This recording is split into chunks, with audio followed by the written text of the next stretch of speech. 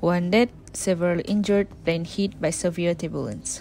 A single fatality and multiple passengers injuries occurred when Singapore Airlines SIA flight SQ321 en route from London to Singapore encountered severe turbulence as reported by the airline.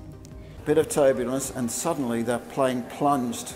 Um, I don't know how far, but it was, they said 6,000 feet. It didn't seem like 6,000 feet, but it was a long way and so sudden, there was no warning at all. And I ended up hitting my head on the uh, ceiling, my wife did. Some poor people who were walking around ended up doing somersaults. It was instantaneous. It really was. And horrible. SIA stated at the Boeing 777-300ER with 211 passengers and 18 crews on board was redirected to Bangkok and touched down at 3.45 p.m. local time on Tuesday.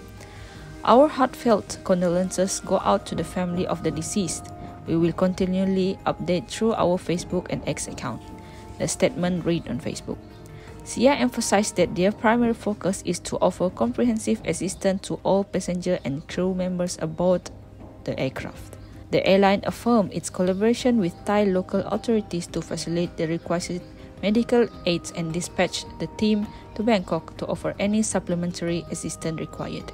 I'm profoundly saddened by the unfortunate incidents involving Singapore Airlines Flight SQ321 from London Heathrow to Singapore, expressed Transport Minister Chee Hong Tat on social media platform dedicated to the youth.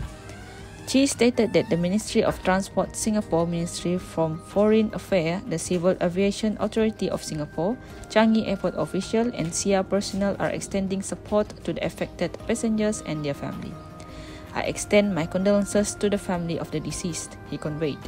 Meanwhile, Singapore Airlines provided an update on its Facebook page indicating of 7:50 p.m. Singapore time, 18 passengers were hospitalized while another 12 received medical treatment.